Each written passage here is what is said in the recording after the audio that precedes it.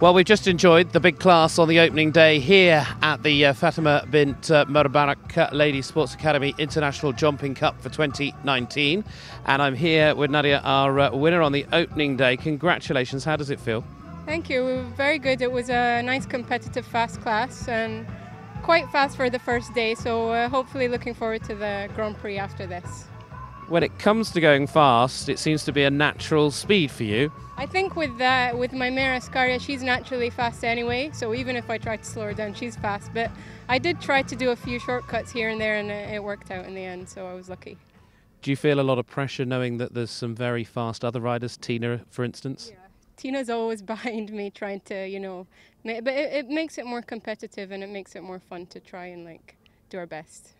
And the course itself this, this evening, do you think it was a really good challenge? It was a had a lot of nice options to do, and you could take strides out here and there. So it was it was very nice for the first day. And uh, looking ahead to the next two, what's the plan with your horses? Mm, well, we've got the six bar tomorrow, so it's an option if we do it or not, but it might be fun.